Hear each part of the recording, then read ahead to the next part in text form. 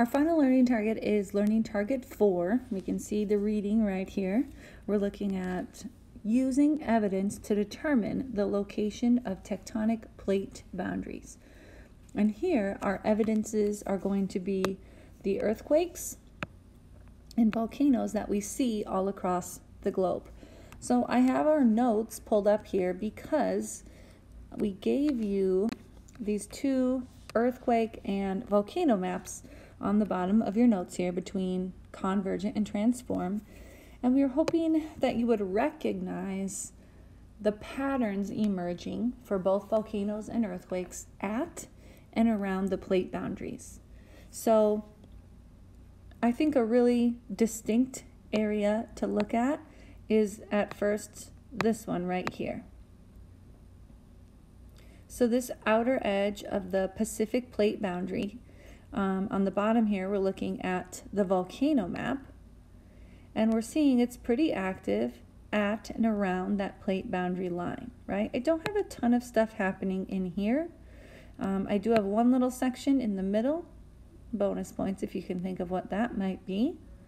But when we look at that same area on our earthquake map up here, I'm noticing again, it's very active and just a slight bit of activity in the middle. So really big picture, what we're thinking about over here for learning target four is how do the locations of the earthquakes and the volcanoes really accentuate those plate boundaries, right? I'm seeing lots of activity at and around the plate boundaries, both divergent mid-ocean ridges, and convergent with subduction and a lot of activity.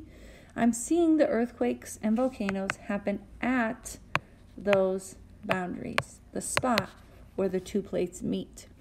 So when we work our learning target four here, this is really what I'd like us to do, is just focus on those two words, earthquakes and volcanoes. That's all I want us to use.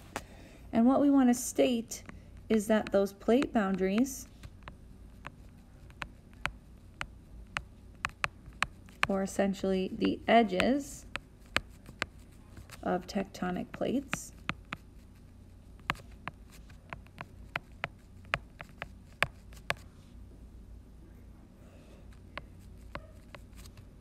are the most active when we see those features or evidences for earthquakes and volcanoes. I'm going to say most active areas. For earthquakes, I'm going to abbreviate here, and volcanoes. Again, every once in a while we see an earthquake or a volcano not in close proximity to a plate boundary, but it's very rare right? If I pull back up our diagram, you know, if we think about us, Minnesota, our location is right around in here. We are very low for earthquake activity. We are not near the edge of a plate boundary, therefore we have little to no earthquake activity, like a lot of the places in the middle of the tectonic boundary. Same thing here for volcanoes. Here we are little to no volcanic activity because we're not near the plate boundary or essentially the edge. And again, the same for other boundaries. So number four was just getting us to recognize that the boundaries are the most active places for earthquakes and volcanoes, and they really point out where our tectonic boundaries are.